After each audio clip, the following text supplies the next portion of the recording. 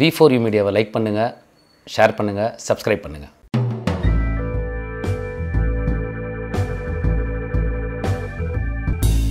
We media நேர்களுக்கு வணக்கம். இன்னைக்கு நடந்த சினிமா அப்டேட்ஸ் பத்தி இப்ப பாக்கலாம். சூப்பர் ஸ்டார் ரஜினிகாந்த் நடிச்சிட்டு இருக்கிற தர்பார் படத்தோட motion poster director A R Murugadoss Deepavali ட்ரீட்டா release பண்ணிருக்காருங்க.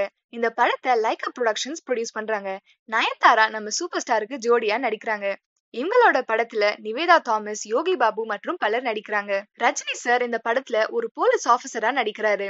இந்த படத்துக்கு அனிருத் மியூசிக் கம்போஸ் பண்ணிருக்காரு தீபாவளி ட்ரீட்டா ரிலீஸ் ஆயிருக்கிற இந்த புது தர்பார் போஸ்டர் வேர்ல்ட் லெவல்ல இப்போ ட்ரெண்ட் ஆயிட்டு இருக்கு ஏஜஸ் என்டர்டைன்மெண்ட் தயாரிப்புல அட்லி இயக்கத்துல தளபதி விஜய் நயன்தாரா ஜாக்கி ஷா மற்றும் பலர் நடிச்ச பிகில் ரிலீஸ் ஆகி பயங்கரமான ஒரு ஓப்பனிங் கொடுத்திருக்குங்க. ஆடியன்ஸ் கிட்ட பாசிட்டிவ் ரிவ்யூஸும் மக்கள் கிட்ட ஒரு நல்ல வரவேற்பு கிடைச்சிட்டு இருக்கு அதே நேரத்துல சல்மான் கானோட படம் தபங் த்ரீ படத்தோட ஷூட்டிங் போயிட்டு இருக்கு இந்த படத்தோட ப்ரொமோஷன் வேலையா Salman Khan and team press மீடியாக்கு interview கொடுத்தாங்க. தமிழ்நாடு பிரஸ் மீடியா கான்ஃபரன்ஸ்ல சல்மான் கான் பேசினாரு.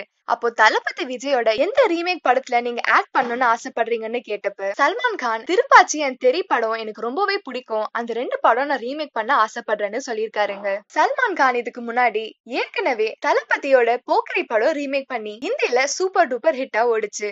பாலிவுட் ஆக்ட்ரஸ் ஆன ராதிகா ஆப்டே ஆக்ட் பண்ணது மட்டும் இல்லாம இப்போ ஒரு ஷார்ட் பிலிம் டைரக்ட் பண்ணிருக்காங்க ராதிகா ஆப்டே பாத்தீங்கன்னா நடிகர் பிரகாஷ் ராஜோட தோனி என்ற படத்துல முதல் முதலா தமிழ் சினிமால அறிமுகமானாங்க. அதுக்கு அடுத்ததா கார்த்தி நடிப்புல ஆல் இன் ஆல் அழகு ராஜா மற்றும் சூப்பர் ஸ்டார் ரஜினிகாந்தோட கவாலி படத்துல நடிச்சிருந்தாங்க. இவங்க இப்போ ஹிந்தில லஸ்ட் ஸ்டோரி சேக்ரட் கேம்ஸ் போன்ற வெப் சீரிஸ்லயும் ஆக்ட் பண்ணியிருந்தாங்க. இவங்க இப்போ ஸ்லீப் வாக்கர்ஸ் என்ற ஒரு ஷார்ட் பிலிம் டைரக்ட் பண்ணிருக்காங்க இந்த படத்தை ஹனி மற்றும் அபிஷேக் ப்ரொடியூஸ் பண்ணிருக்காங்க டியர் காம்ரேட் படத்தை தொடர்ந்து விஜய் தேவரகொண்டா நடிப்புல வெளிவர இருக்கிற படம் தான் world famous lover Vijay Deverakonda நடிச்சிட்டு இருக்கிற படம் தான் வேர்ல்ட் ஃபேமஸ் லவர் இந்த படத்தோட போஸ்டர் ரிலீஸ் ஆயிருக்குங்க. இந்த போஸ்டர்ல அவர் சிகரெட் பிடிக்கிற மாதிரி இருக்கு. இந்த போஸ்டர் பத்தி சென்ட்ரல் கவர்மெண்டோட டொபாக்கோ மானிட்டர் அப்ளிகேஷன்ல நிறைய கம்ப்ளைண்ட்ஸ் போயிட்டு இருக்குங்க. இதனால கவர்மெண்ட் சைட்ல இருந்து படத்தோட ப்ரொடக்ஷன் ஹவுஸ்க்கு ஒரு லெட்டர் போஸ்ட் பண்ணிருக்காங்க இதுக்கு பதில் அளிக்கிற விதமா படத்தோட டீம் இந்த விஷயத்துக்கு அவங்க ரொம்ப வருத்தப்படுறாங்கன்னு சொல்லியிருக்காங்க.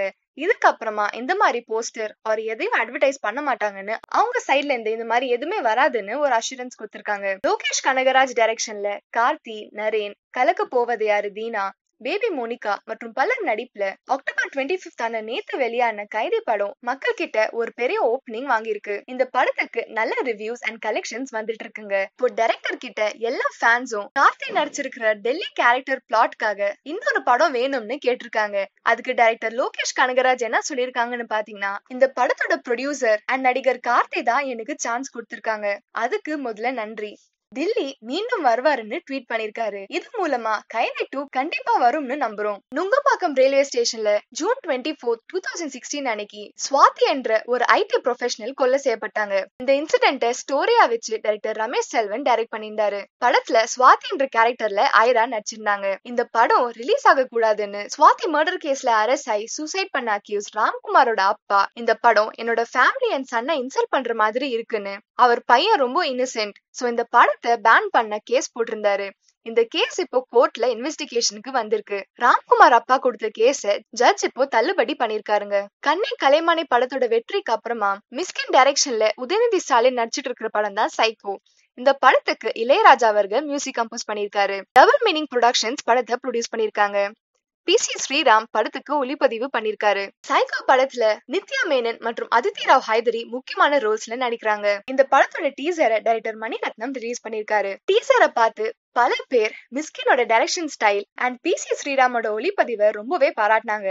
அது மட்டும் இல்லங்க. உதயநிதி ஸ்டாலினோட கெரியர்லயே சைக்கோ ஒரு பெரிய திருப்பு முனையா இருக்கும்னு சொல்லியிருக்காங்க. லைகா ப்ரொடக்ஷன்ஸ் தயாரிப்புல ரெடி ஆயிட்டு இருக்கிற இந்தியன் டூ படத்தோட ஷூட்டிங் போயிட்டு இருக்குங்க சங்கர் டைரக்ட் பண்ற இந்த படத்துல உலக நாயகன் கமல்ஹாசன் மற்றும் காஜல் அகர்வால் நடிக்கிறதா நம்ம எல்லாருக்குமே தெரியும். இந்த படத்தோட லேட்டஸ்ட் அப்டேட் என்னன்னு பாத்தீங்கன்னா காஜல் அகர்வால் இந்த படத்துல ஒரு eighty five year old female கெட்டப்ல நடிக்கிறதா இன்ஃபர்மேஷன் வந்திருக்கு. இந்த படத்தோட ஷூட்டிங் போபால நடந்துட்டு இருக்கு அடுத்த நியூஸ் என்னன்னு பாத்தீங்கன்னா கடைசியா வெளிவந்த ஓ பேபி படத்தோட வெற்றியை தொடர்ந்து சமந்தா நடிப்புல வெளிவர இருக்கிற படம் தான் நைன்டி சிக்ஸ் படத்தோட தெலுங்கு ரீமேக் இதை தொடர்ந்து சமந்தா மனோஜ் பாஜ்பாய் நடிக்கிற அ ஃபேமிலி மேன் வெப் சீரிஸ்ல நடிக்க போறதா நியூஸ் வந்திருக்கு. இதுல சமந்தா ஒரு நெகட்டிவ் ரோல் பிளே பண்றாங்க. சமந்தாவை இதுக்கு முன்னாடி ரொம்ப கியூட் அண்ட் இன்னசென்டான கேரக்டர்ஸ்ல தான் பாத்திருக்கோங்க. ஒரு நெகட்டிவ் ரோல்ல எப்படி பெர்ஃபார்ம் பண்ண போறாங்கன்னு வெயிட் பண்ணி பார்க்கலாம். வி ஃபோர் மீடியா சார்பாக அனைவருக்கும் இனி இனிய தீபாவளி நல்வாழ்த்துக்கள். இன்னைக்கு பர்த்டே கொண்டாடுற செலிபிரிட்டிஸ பத்தி இப்போ பார்க்கலாம்.